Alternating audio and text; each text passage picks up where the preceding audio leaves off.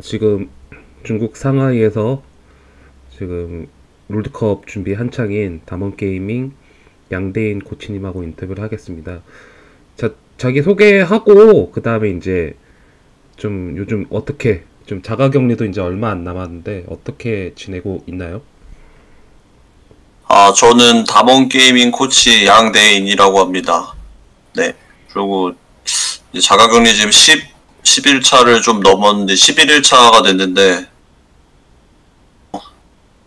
이제 보급해주신 음식도 잘 먹고 그리고 좀 이제 같은 공간에 갇혀 있는 건 좀 답답하긴 해요. 그래서 선수들이랑 빨리 얼굴도 좀 보고 싶고 그리고 그냥 평소대로 일정은 그냥 스크림 하루에 할 거 하고 그다음에 뭐 어, 영상 볼 거 보고 그렇게 지내고 있습니다. 그 자가 격리를 지금 이제 11일? 지금 이제 25일 날 끝나는 걸로 알고 있는데 네. 그 좀 불편한 점은 뭔가요? 좀 뭐 어떤 분은 뭐 창살 있는 호텔에서 그냥 지내는 느낌이다 그런 이야기도 했거든요. 코치님이 느끼기에는 좀 어떤가요?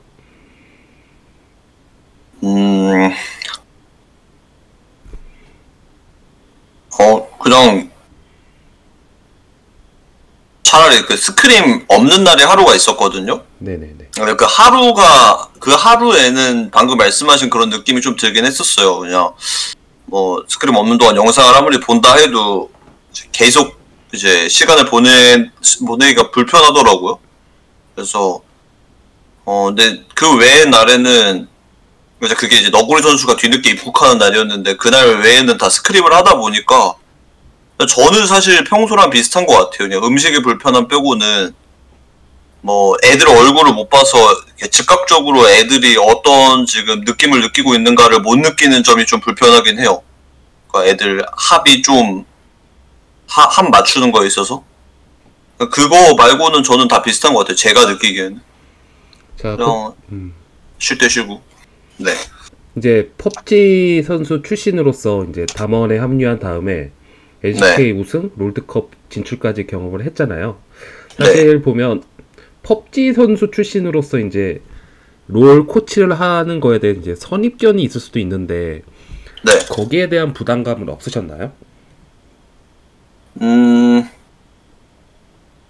음, 뭐, 사실 저는 부담이 없었는데, 어, 되려 이제, 어, 그러니까 다른 분들, 그러니까 뭐랄까, 어, 제가 처음에 이제 면접 보고 할 때도 되게, 이제, 제가 펍지 선수 출신이니까, 그런 걱정을 좀 해, 하죠, 그러니까 약간 격려라고 해야 되나?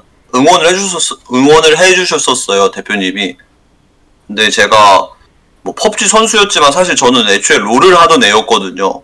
그러니까 롤을 저도 시즌 2부터 쭉 해왔기 때문에 그래서 애초에 롤을 하다가 잠깐 그냥 배그가 너무 재밌어서 배그를 하러 간 거였거든요. 그래서 어, 기존에 제가 알고 있던 지식들도 저는 자신이 많이 있었고 그래서 되려 펍지 덕분에 이렇게 어, 사람들을 알게 돼서 제가 롤로 너- 롤 코치로 오게 된 것 같아요 저는 되려. 담원은 이제 서머 시즌 앞두고 이제 고, 고스트 선수가 합류를 했잖아요. 이제 음, 네. 그 고스트 선수 합류한 이후 이제 플레이가 달라졌다는 평가가 있는데 일단은 고스트 선수가 재키러브 선수처럼 이제 오더형 원딜이다 보니까 그러지 않냐 그런 얘기가 많거든요. 코치님 생각은 좀 어떠세요? 일단 고스트 선수가 합류한 시점은 어, 제 기억으로 이제 1라운드 종료할 쯤이었어요. 제 그리고 그러니까 스프링 스프링 1라운드 종료할 쯤에 고스트 선수가 합류를 했고 그리고 그때 당시에도 이제 테스트를 봤을 때 이제 웬만하면 뽑자라고 했던 부분이 방금 말씀하신 그러니까 오더라고 표현하기엔 너무 과하고 그냥 그냥 좀 맥락을 그래도 좀 짚는다 정도였던 것 같아요. 그래서 그러니까 플레이 자체가 예를 들어 룰러 선수를 보면 라인전에서 정말 그 사소한 차이를 만들려고 정말 엄청난 그런 퍼포먼스를 내잖아요 라인전부터.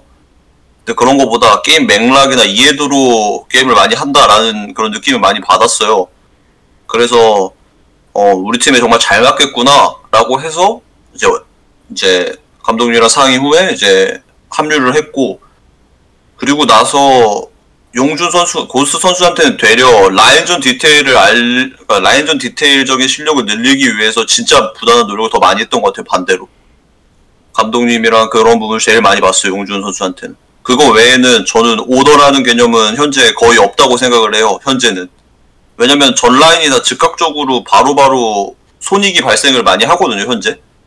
그렇기 때문에 전 라인이 다 비슷한 이해도를 가지고 같은 방향을 볼 수 있냐, 이게 중요하지.